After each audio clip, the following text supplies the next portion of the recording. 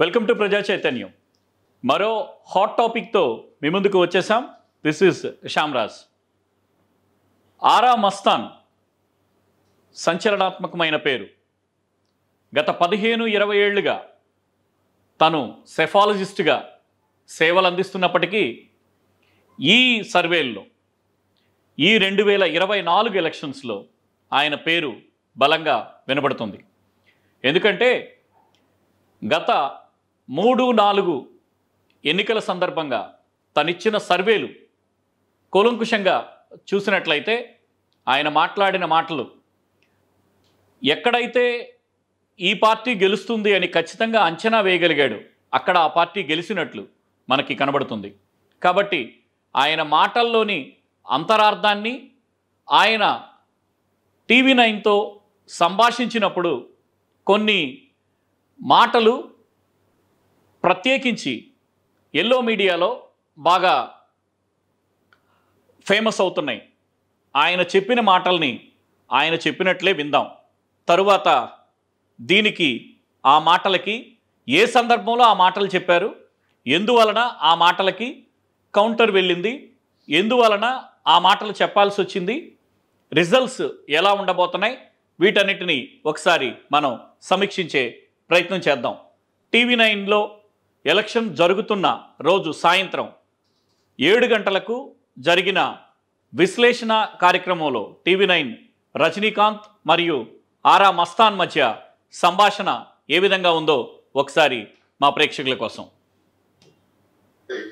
రెండు వేల పంతొమ్మిది అసెంబ్లీ ఎన్నికల్లో ఆంధ్రప్రదేశ్లో జరిగినటువంటి పోలింగ్ శాతాన్ని గమనించినట్లయితే ఎనభై పాయింట్ మూడు తొమ్మిది శాతం జరిగింది.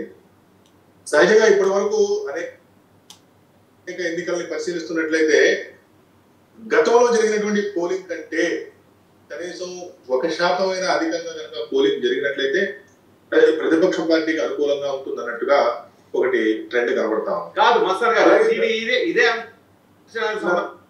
కొంత డీటెయిల్స్ తెప్పించారు రైట్ గతంలో eighty percent change. Election poll అయింది. ఈసారి అంతకన్నా వన్ పర్సెంట్ పెరిగినట్లయితే ప్రతిపక్షానికి ప్రత్యేకించి ఎన్డీఏ పక్షానికి వెసులుబాటు ఉండే అవకాశం ఉండొచ్చు అని ఆరా మస్తాన్ గారు ప్రస్తావించిన విషయాన్ని ఇప్పుడు మన సోషల్ మీడియాలో ప్రత్యేకించి తెలుగుదేశం పార్టీ అనుకూల వర్గాలు వీటిని విస్తృతంగా ప్రచారంలోకి తీసుకొచ్చి లాస్ట్ టైం కన్నా ఈసారి ఎక్కువగా పోల్ అయింది కాబట్టి ఆరా మస్తాన్ ఖచ్చితంగా సర్వేలు ఇస్తాడు కాబట్టి లాస్ట్ టైంకి ఈ స- ఈసారికి పోలింగ్ ఎక్కువైన క్రమంలో ఇది మాకు అనుకూలంగా ఉంటుంది అని విస్తృతంగా ప్రచారం చేస్తున్నారు. దీనిలో వెంటనే రజనీకాంత్ గారు ఒక కౌంటర్ ఇచ్చారు. దాన్ని కూడా ఒకసారి పరిశీలిద్దాం. నేను చేస్తాను. ఎన్నికల్లో ఆల్మోస్ట్ ఎయిటీ పర్సెంట్ పోలింగ్ జరిగింది. ఆ తర్వాత. దొంగ ఓట్లకు సంబంధించి అధికార ప్రతిపక్ష పార్టీల మీద తీవ్ర వాదోపవాదాలు జరిగిన తర్వాత చాలా ఓట్లను తొలగించారు గత ఐదు సంవత్సరాలు. ఐదు సంవత్సరాలు ఓట్లు తొలగించిన తర్వాత ఆటోమేటిక్గా గత ఎన్నికల ఓటర్ల జాబితా ఈ ఎన్నికల ఓటర్ల జాబితాను కనుక ముందు పెట్టుకుంటే గతంలో జరిగిన రెండు వేల పంతొమ్మిది పోల్ పర్సెంటేజ్ మనం ఎయిటీ వన్ పాయింట్ ఫైవ్ పర్సెంట్గా కన్సిడర్ చేయొచ్చు. దట్ మీన్స్ ఇప్పుడు eighty one point five percent vote polling జరిగినా కూడా గత ఎన్నికల్లో జరిగిన పోలింగ్ ఇంచుమించుగా సమానంగా పరిగణించాలి. Right we got the answer గతంలో ఎక్కువ మంది ఎక్కువ మంది రెండు చోట్ల ఎలక్షన్స్ చేసిన సందర్భంగా ఈసారి eighty one eighty one point five కనుక జరిగి ఉంటే eighty one point eight six percent ఈసారి ఓటింగ్ ఎలక్షన్ జరిగింది. గతంలో ఎయిటీ పర్సెంట్ జరిగిన ఈసారి eighty one point five percent జరిగిన result will be the same ఇది ఇన్స్టెంట్గా రజనీకాంత్ గారి దగ్గర నుంచి వచ్చిన ఆన్సర్. దీని తర్వాత ఆరా మస్తాన్ గారు అనేక కూలంకుషమైన విషయాలని ప్రస్తావిస్తూ ఎందుకు వైఎస్ఆర్సీపీ గెలవబోతుందని ఆయన చాలా విశ్లేషణాత్మకంగా ఈ డిబేట్లో పార్టిసిపేట్ చేశారు. రకరకాల ఫ్యాక్టర్స్ మెయిన్స్ ఎన్నికల నెరేషన్లో జగన్మోహన్ రెడ్డి గారు ఏ విధంగా ముందుకెళ్ళారు ఎన్నికల జరుగుతున్న క్రమంలో బస్సు యాత్ర కానివ్వండి ఎలక్షన్కి ఇంకొక ముప్పై రోజుల సందర్భంగా రకరకాల ఫ్యాక్టర్స్ ఇన్ఫ్లుయెన్స్ చేసే ఫ్యాక్టర్స్ ఏదైతే ఉన్నాయో దాన్ని చక్కగా క్రోడీకరించారని దీని అనంతరం మాట్లాడిన వీడియోస్లో మనకి కనబడుతుంది. ఇక ఆ తర్వాత రజనీకాంత్ గారు మాట్లాడిన మాటకి ఏ ఆన్సర్ చెప్పారో ఒకసారి చూద్దాం. పాయింట్ మూడు తొమ్మిది శాతం పోలింగ్ జరిగింది. ఆ రోజు ఉన్నటువంటి మూడు కోట్ల తొంభై ఆరు లక్షల ఓట్లలో సుమారు మూడు కోట్ల పదహారు లక్షల ఓట్లు పోలేనట్టుగా నా దగ్గర ఉన్నటువంటి డేటా సో ఇప్పుడు వరగా నాలుగు కోట్ల పద్నాలుగు లక్షలు నేను చూసిన డేటా వరకు ఉంది. కొంత పెరిగే అవకాశం కూడా ఉంది. ఎందుకంటే వారం రోజుల ముందు కూడా కొంత డేటాని ఆ, సవరించారు. సరే నేనేమంటానంటే సరే ఓవరాల్ మీరు చెప్పినటువంటి డూప్లికేట్ ఓట్స్ తీసేయడము లేదంటే కొత్తగా వచ్చినటువంటి యూత్ ఓటర్స్ని యాడ్ చేయడం ఇవన్నీ పక్కన పెడితే అంటే మనం జస్ట్ ఒక సింగిల్ లైన్లో కనుక మనం చెప్పుకోదలుచుకుంటే గతం కంటే కనుక ఎన్నికల్లో పోలింగ్ పర్సంటేజ్ పెరిగితే ఇది ఖచ్చితంగా ప్రతిపక్ష పార్టీకి అనుకూలంగా ఉంటుంది. అంతకంటే తగ్గితే ఇది అధికార పార్టీకి అనుకూలంగా ఉంటుంది. ఇదొక ఇదొక ఫార్ములా రెండో ఫార్ములా తెలంగాణ విషయంలో ఇలా జరగల. రెండు వేల ఇరవై మూడు డిసెంబర్ నవంబర్లో జరిగినటువంటి తెలంగాణ ఫలితాలు తెలంగాణ ఎన్నికలు చూస్తే గతం కంటే తెలంగాణ అసెంబ్లీ ఎన్నికల్లో పోలింగ్ పర్సంటేజ్ తగ్గింది. కానీ అక్కడ ప్రతిపక్ష పార్టీ అయినటువంటి కాంగ్రెస్ పార్టీ అధికారంలోకి వచ్చింది. ఎందుకు ఇలా జరిగింది అని కనుక మనం ఒకసారి వెంటనే చూసుకున్నప్పుడు రైట్ పోలింగ్ పర్సంటేజ్ పెరిగితే ప్రతిపక్ష పార్టీకి అనుకూలంగా ఉండొచ్చు అనేది అంచనా. బట్ రెండు వేల పద్దెనిమిదిలో తెలంగాణ ఎలక్షన్లో ప్రో పాజిటివిటీ మీదనే ఎలక్షన్ వచ్చింది. కేసీఆర్ గారు అప్పుడు గెలిచినప్పుడు ఎలక్షన్ పర్సంటేజ్ పెరిగి తిరిగి అధికారంలోకి వచ్చారు. అంటే ఓటింగ్ శాతం పెంచుకొని అధికారంలోకి వచ్చారు. మొన్న కూడా ఎలక్షన్స్లో రెండు వేల ఇరవై మూడు ఎలక్షన్స్లో తెలంగాణలో జరిగిన ఎలక్షన్స్లో పోలింగ్ పర్సంటేజ్ పెరిగితే కాంగ్రెస్ పార్టీ ప్రతిపక్షంలో ఉన్న కాంగ్రెస్ పార్టీ అధికారంలోకి రాలా. పోలింగ్ పర్సంటేజ్ తగ్గిన తర్వాత ప్రతిపక్షంలో ఉన్న కాంగ్రెస్ పార్టీ అధికారంలోకి వచ్చిందని ఆరా మస్తాన్ గారు ఈ విషయాన్ని క్రోడీకరించారు. ఇక- కాంగ్రెస్ పార్టీ ఇక అనేక అంశాలని ఈ ఆరా మస్తాన్ ప్రస్తావించినప్పుడు సోషల్ ఇంజనీరింగ్ విషయంలో ఆయన మాట్లాడిన మాటలు మనకి కనబడతాయి. సోషల్ ఇంజనీరింగ్లో జగన్మోహన్ రెడ్డి ఏ విధంగా చేశారు? సోషల్ ఇంజనీరింగ్లో జగన్మోహన్ రెడ్డి ఏ విధంగా వెళ్ళారు? ఏ ఏ వర్గాలకు ప్రాధాన్యతనిస్తూ ఈ సోషల్ ఇంజనీరింగ్ జరిగింది? ఏ వర్గాలు ప్రధానంగా బలంగా జగన్మోహన్ రెడ్డి వెనుక నిలబడ్డాయో ఆయన ప్రత్యేకి ప్రత్యేకించి ఈ సందర్భంగా మాట్లాడారు. ఇప్పుడు సరే ఇందాక నాని గారు చెప్పినట్టు రెండు వందల్లో వంద ఇచ్చాము ఓకే అదొకటేమో సరే సామాజిక న్యాయం అనేది సో అనేది మనం సోషల్ జస్టిస్ అనేది దాని పేరు పెట్టచ్చు. కానీ పొలిటికల్ ఎఫినిటీ గ్రూప్స్ని రీఆర్గనైజ్ చేయడంలో జగన్మోహన్ రెడ్డి గారు ఖచ్చితంగా అప్రాండ్ అయ్యారు ఇదే కనుక ఈ ఈసారి ఎన్నికల్లో సక్సెస్ అయితే ఖచ్చితంగా భారతదేశంలో కాబట్టి అన్ని రాజకీయ పార్టీలు ఆ పార్టీని ఆయన్ని అనుసరిస్తాయనే దాంట్లో ఏమాత్రం సందేహం లేదు. ఈ ఉదాహరణ నర్సరావుపేట పార్లమెంట్లో సిట్టింగ్ పార్లమెంట్ సభ్యుడు కృష్ణదేవరాయ గారు ఆయన ఇక్కడ నుండి పార్టీ నుండి బయటకు వెళ్ళినప్పుడు వాస్తవం ఉంది. చెప్పాలంటే ఇక్కడ ఉన్నటువంటి ఏడుగురు ఎమ్మెల్యేలు కూడా నిస్తేజమైనటువంటి స్థితికి వెళ్ళిపోయారు. కృష్ణదేవరాయ గారు ఇక్కడ వైఎస్ఆర్ కాంగ్రెస్ పార్టీ శాసనసభలు అయినప్పటికీ అన్ని పార్టీలతో మంచిగా ఉంటూ అందుబాటులో ఉంటూ మంచి పేరు సంపాదించాడు. ఆయన కంటే ఒక సొంత ఓటు బ్యాంక్ క్రియేట్ చేసుకున్నాడు. ఆయన వెళ్ళిన తర్వాత ఒక రకమైనటువంటి ఒక నిస్తేజ పరిస్థితి ఇక్కడ. అటువంటి పరిస్థితుల్లో అనిల్ యాదవ్ అనేటువంటి సంబంధం లేదు ఈ జిల్లాతో. నెల్లూరు ప్రాంతం నుండి ఇక్కడ తీసుకొచ్చి రైట్ ఈయన ప్రస్తావించిన విషయం మచ్చుకి ఒకటి. ప్రధానంగా ఈ పొలిటికల్ నెరేషన్లో ఏ విధంగా వెళ్ళారు? పొలిటికల్ నెరేషన్లో సోషల్ ఇంజనీరింగ్ పర్పస్లో ఏ విధంగా జగన్మోహన్ రెడ్డి గారు చేశారు? మత్సుకి ఒక ఉదాహరణ చెప్పారు. నర్సరావుపేట సెగ్మెంట్లో నర్సరావుపేట సెగ్మెంట్లో ఏడు కాన్స్టిట్యున్సీలు ఎంపీగా ఉన్నటువంటి లావు శ్రీకృష్ణదేవరాయలు విజ్ఞాన్ సంస్థల అధినేత. లావు శ్రీకృష్ణదేవరాయలు గారు ఎంపీగా ఉన్నారు. ఎంపీగా గెలిచిన అనంతరం ప్రజలకు దగ్గరగా ఉంటూ చేసిన సేవని ఆయన చెప్పారు.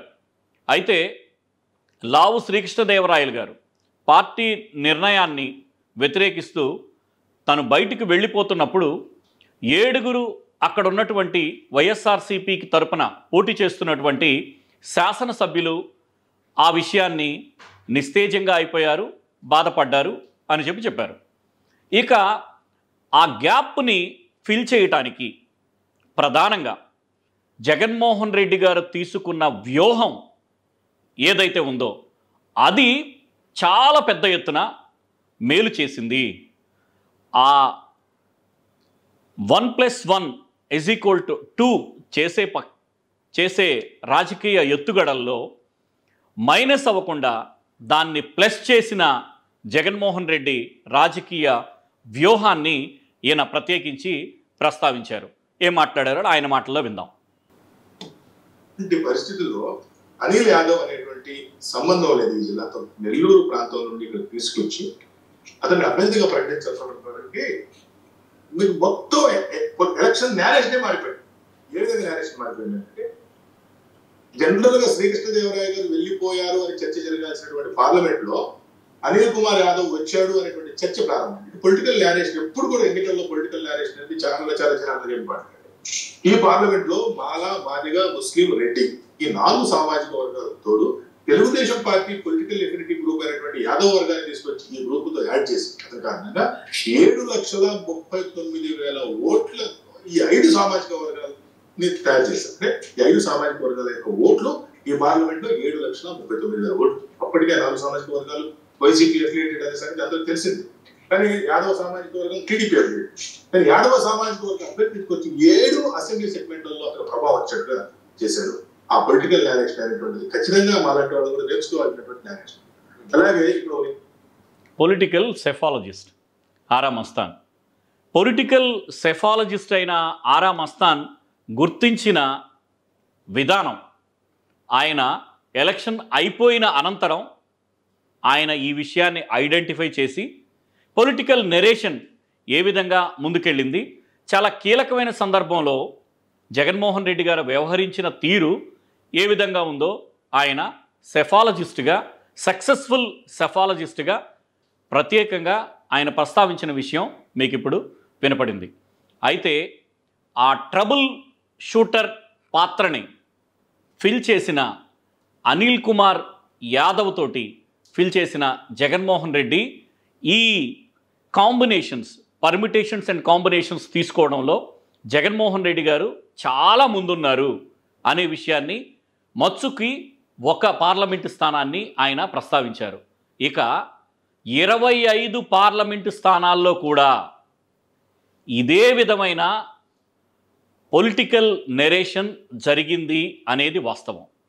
కాబట్టే ఈ రోజున పెద్ద ఎత్తున వైఎస్ఆర్సిపి ఓట్లు గెలుచుకున్నది ప్రజల యొక్క మనసుని గెలుచుకున్నది అని చెప్పి ప్రతి సందర్భంలో అంతా మంచి చేసి ప్రజల దగ్గరికి వెళ్ళేటప్పటికీ మేము మంచి చేసాం కానీ ఎందుకో మాకు ఓట్లు రావట్లేదు అని చెప్పేవారికి ఇది ఒక ఒక ఆన్సర్ దొరికింది.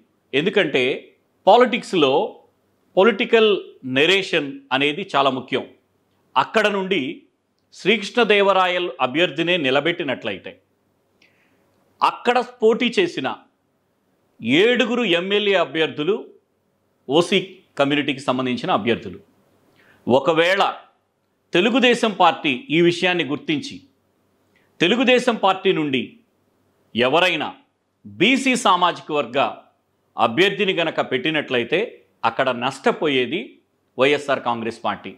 ఏడు అసెంబ్లీ నియోజకవర్గాల్లోనూ మరియు ఎంపీ సెగ్మెంట్లో ఆ విషయాన్ని గుర్తించిన జగన్మోహన్ రెడ్డి గారు ఆ విషయాన్ని గుర్తించే అక్కడ అనిల్ కుమార్ యాదవ్ అనే ఒక యాదవ సామాజిక వర్గానికి చెందిన ప్రముఖ వ్యక్తిని రెండుసార్లు ఎమ్మెల్యేగా గెలిచిన నెల్లూరు జిల్లాకి సంబంధించిన వ్యక్తిని తీసుకొచ్చి అక్కడ అభ్యర్థిగా ప్రకటించి అక్కడ మంచి పని చేశారు అని ఈ సందర్భంగా తెలియజేయచ్చు.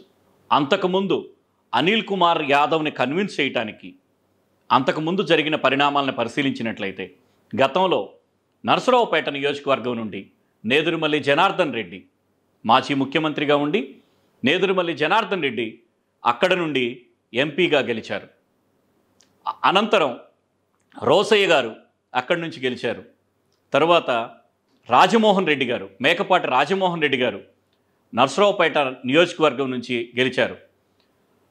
అనిల్ కుమార్ యాదవ్ కాస్త వెనుకడుగేస్తున్న సందర్భంలో వీరంతా నెల్లూరు డిస్టిక్ నుంచే వచ్చి లేదా ప్రకాశం జిల్లాల నుంచి వచ్చి ఇక్కడ ఎంపీగా పోటీ చేశారు నువ్వు భయపడొద్దు అని చెప్పి వెన్నుతట్టి ప్రోత్సహించి అనిల్ కుమార్ యాదవ్ను ముందుకు తీసుకొచ్చి అక్కడ నుంచి పోటీ చేసేలా చేశారు.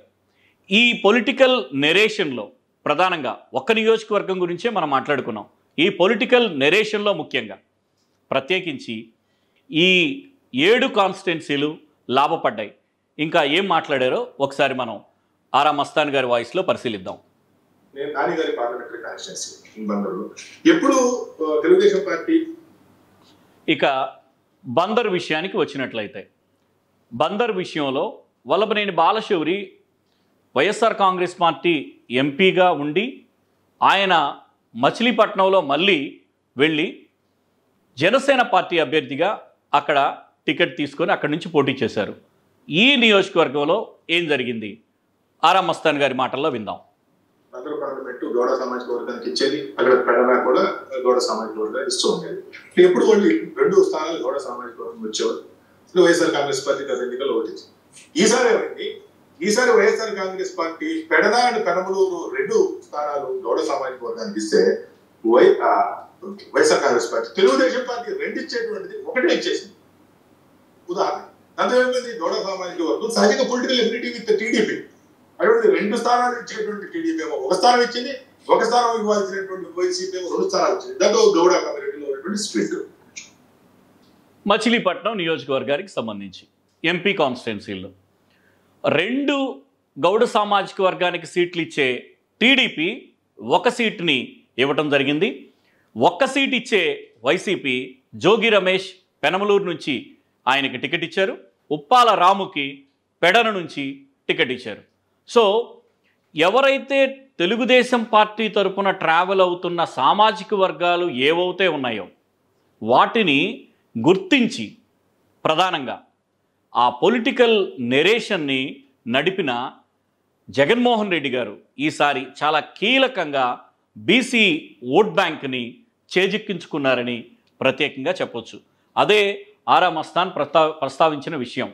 ఇక ఆరా మస్తాన్ గారు ప్రస్తావించిన విషయాలు చాలా ఆయన ఈ పర్సంటేజ్ ఆఫ్ ఓటింగ్ ఎప్పుడైతే పెరిగిందో అప్పుడే ఆయన ప్రతిపక్షం అధికారంలోకి వస్తుందని చెప్పారు కాబట్టి ఆరామస్తాన్ చెప్పాడు కాబట్టి వస్తుంది అని చెప్పి అంటున్నారు ఆరామస్తాన్ గారు ఇట్లాంటి విషయాలు చాలా విషయాలు ఈ వీడియోలో చెప్పారు.